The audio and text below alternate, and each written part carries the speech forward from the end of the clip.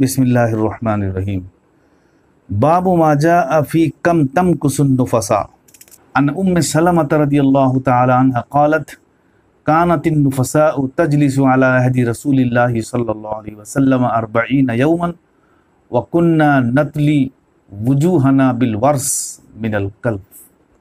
अबू ईसा, हाजा हदीस ला नारिफ़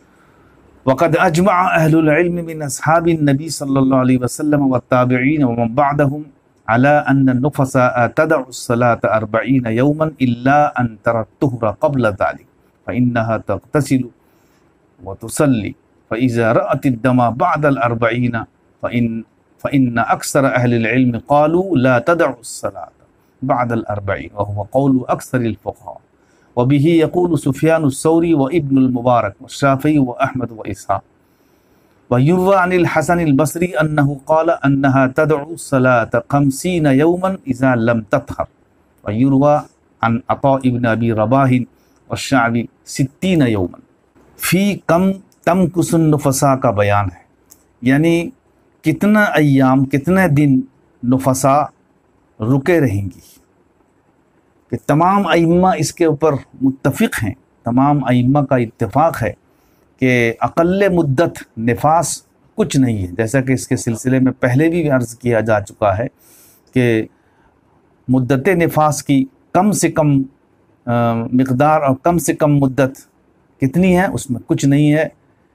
एक सेकंड, एक लम्हा भी इसका इम्कान है, हो सकता है। तमाम अइम्मा का इस पर इतफ़ाक़ है। क्योंकि ये वही हैज़ वाला खून है, जो बच्चा पैदा होने के बाद जो बाकी बचा रहता है, वो खारिज होता है। अक्सर मुद्दत इमाम शाफी रहमतुल्लाह के नज़दीक साठ दिन है, जैसा कि इमाम तिरमिज़ी ने इसको भी बयान फरमाया है। बाकी तमाम फ़ुका कराम के नज़दीक चालीस दिन है। यहाँ हदीस में हज़रत उम्म सलमा ये रदी अल्लाह ताला ये फरमाती हैं कि तजलिसु अला अहदी नबी, अहद रसूल वसल्लम। यहाँ तजलिसु से मुराद नमाज़ नहीं पढ़ती थी। ये चालीस दिन आखिरी हद है। ज़रूरी नहीं कि पूरे चालीस दिन खून आए। आम तौर पर बीस, तीस और पैंतीस दिन खून आता है। तो वर्ष, बिल वर्ष का जो लफ्ज़ आया है हदीस में ये एक किस्म की घास है जो सिर्फ़ यमन में पैदा होती है। बच्चा जनने के बाद रुखसारों पर हरे हरे झाइयाँ पड़ जाती हैं। तो हुजूर सल्लल्लाहु अलैहि वसल्लम के ज़माने में उसको इसी वर्ष घास से दूर किया जाता था।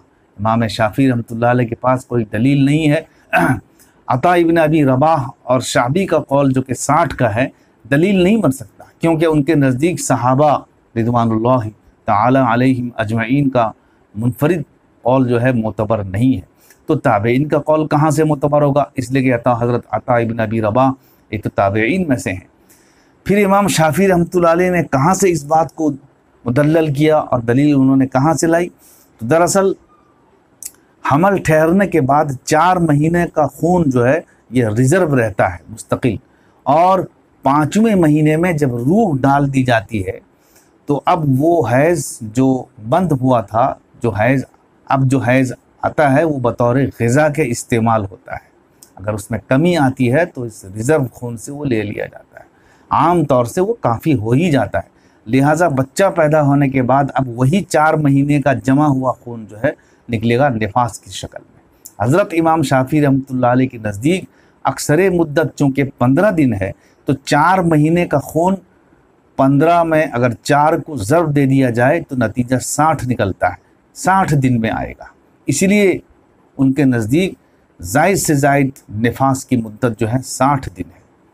और हनफिया के नज़दीक चूँकि जायद से जायद दस दिन है तो दस को अगर चार में ज़रब दे दिया जाए तो चालीस दिन आएगा। ये हनफिया के नज़दीक है। उनके यहाँ चालीस का अदद इसीलिए निकलता है कि चार महीने का खून तो जायद से जायद दस हो तो ज़रब देने पर चालीस नतीजा आता है। तो औरत का खून अगर छः दिन आता होगा तो उसको नफास छः को अगर चार में ज़रब दे दिया जाए तो चौबीस दिन आएगा।